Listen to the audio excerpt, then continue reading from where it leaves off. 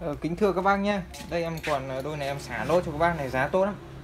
Ờ, giá em lấy vào là rất là tốt ờ, giá em bán ra rất là tốt thì thôi. Ờ, giá cũ là 4 triệu rưỡi bao ship. Đấy giá cũ là 4 triệu rưỡi bao ship. Hôm nay thì em làm cho các bác này ờ, giá nó sập sàn. Sập sàn nhưng mà không bao ship. Ờ, giá hiện tại tại cửa hàng ờ, cước vận chuyển là các bác chịu nhé. Đấy thì trong vòng là bao nhiêu ngày đây? Hôm nay là 10 ờ, mười mấy nhỉ? 15 tháng uh, 15 tháng 4 2019 rồi ok.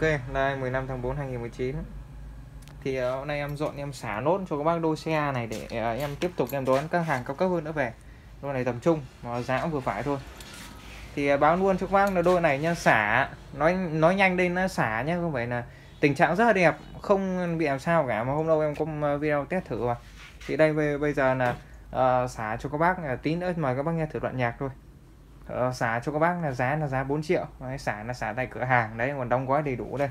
Ở trong đây có đầy đủ thùng thiết nguyên kiện nhá. Đây nó mặn nhện quá.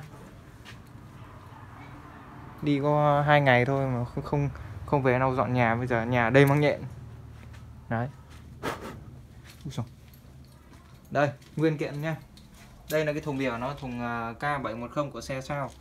Xả cho các bác là giá 4 triệu. Đấy các bác nào quan tâm liên hệ trực tiếp nhé thùng đẹp như hình à, à loa đẹp như hình vẫn còn nguyên zin hết. À, có một chiếc em à, tháo ra em mở ra quay cho các bác xem như của bác thôi các bác nào quan tâm như này trực tiếp nhé xả. Xả nhá chị gọi đây là em nói là xả nhá không phải em à, như nào. Xả cái hàng này đi để em cho cái hàng khác về em cho cái hàng cao cấp hơn về. Chứ còn các hàng này tầm trung các bác đi đâu cũng thấy loại này rồi các bác không thích lắm. Rồi đấy đấy là ra xả nhá các bác nhé thôi được rồi không linh tinh liên thuyền nữa. Bây giờ mời các bác nghe thử nhạc nhẽo xem là nghe ra cái gì không nhé mà các bác nghe. À, các bác nào quan tâm liên hệ trực tiếp nhé giá ở dưới rồi. À giá giá giá, vừa đọc rồi. Số điện thoại dưới các bác nhé Hãy